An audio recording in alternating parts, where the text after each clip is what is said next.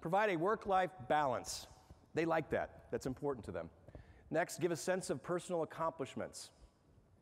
They like to feel like they're achieving something because they got tremendous feedback from their parents about how well they're doing in all things. Provide meaningful feedback. They can see through crap in a second. Don't give them canned feedback. It has to be meaningful. It has to be something that is relative to their what's in it for me. And how does it get me to that end, that fulfillment that this money gets me to, but what do I need to do to get there? Maybe it's letting them know about commission reports or the money left on the table. Next is promote teamwork. Collaboration is singularly one of the most important words to this generation. They love to collaborate, they live the team dynamic. Next is encourage creative thinking. This is going to be hard for some of you to swallow because it's going to make you think at certain times when you're working with these individuals, you will need to let them come up with some of the plans. Yeah, but they're 24, Kurt. They can't possibly come up with some type of profit oriented, managerial, promotional, business oriented plan. Yes, they can. In a way, in the store that makes perfect sense to them and the interaction with, by the way, who's their number one client? Them. And you're saying you're not going to give them part of the creative thinking process because they can't, they haven't got an MBA. Next is offer perks. And not just money, because Harvard did a study and said the number one thing, the way people want to be recognized in the workplace today, is a verbal thank you. Number one. Number two, written thank you. You're going to see a video in a moment where people are given certificates of achievement. And you think it's cheesy, and it's meaningful to them. You know what number 16 was? This is going to be really, it's going to be counterintuitive. Money. Blows me away. But that's why I do what I do. Okay, who am I? To me, anything is possible.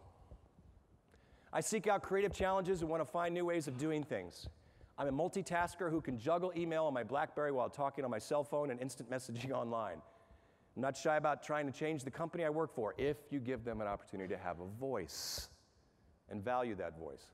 I expect constant change and improvement. Speed is incredibly important to this generation. Here's a book that uh, I'm currently almost done with. I bought it uh, last week.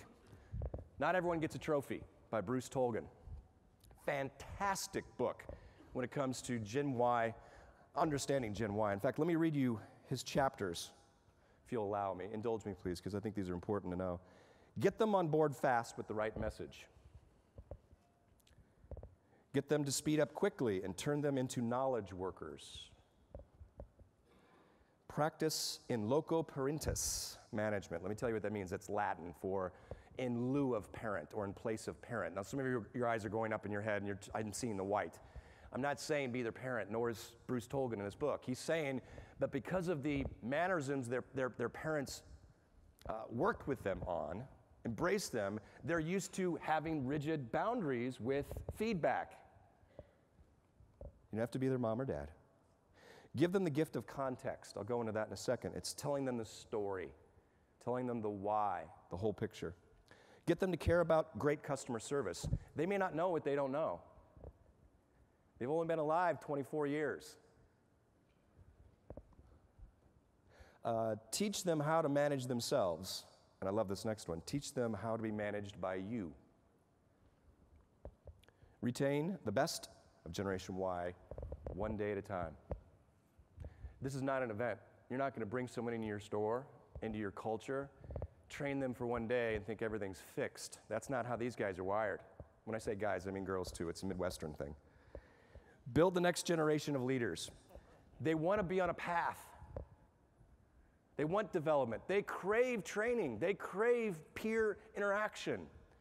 And yet, I look at businesses, I work with businesses where the owners and managers or senior managers just don't want to involve that much development because it takes too much time. And yet, it's the one thing that they crave. I want, to, I want to take a step back. That's a great, very good point that sometimes it's our fault that we may have caused some of this, but let's, let's think about that for a second. Two things are influencers to culture. One is, or sorry, two generations. One is culture and society, so that's what's happening peripherally around someone's life. Education, uh, the global aspect, Oh, and I did forget, I told you I was going to link uh, the greatest generation to, to Generation Y. I will just in a moment. But you have to remember the other influencer of someone's decision making in this generation is also family.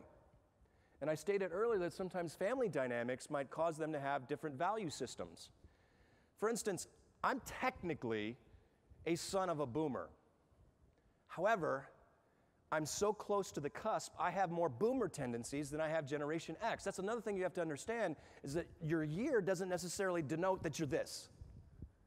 Other things influence how you make decisions. There's just common value systems that are, that are present on a much more general scale. That the part, that's the only part we can talk about.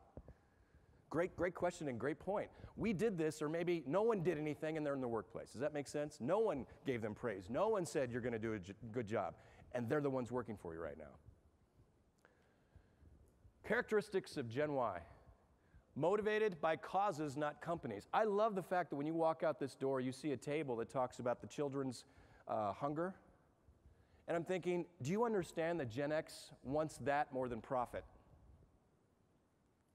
They don't link profit to anything to them because they, they don't feel it's part of what they're made of. They would rather a company be mean something they're part of a community in some way that they then can say, yeah, I work for them. You know, they did this, this, and this for the community. And we, we helped keep our ecosystem friendly. And we also, we recycle in a big way. I'm proud of that being part of a company that does that.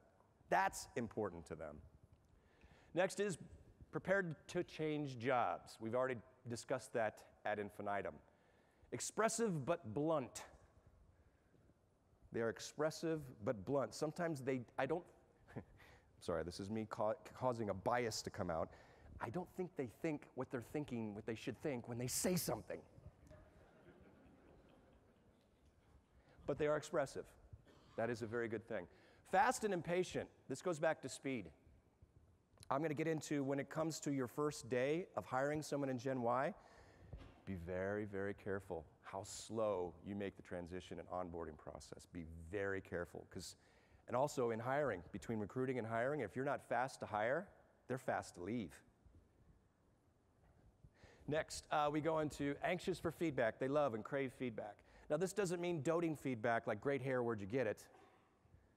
It's got to be meaningful feedback. It's got to be linked to a value system and, and, what they value. One of the things that I will tell you that's not in this course, but it's in courses I offer, is the most important thing a manager and leader can do is get to know your team get to know their motivational triggers. And if you can know that, you'll get closer to driving their performance based on their value system, not yours.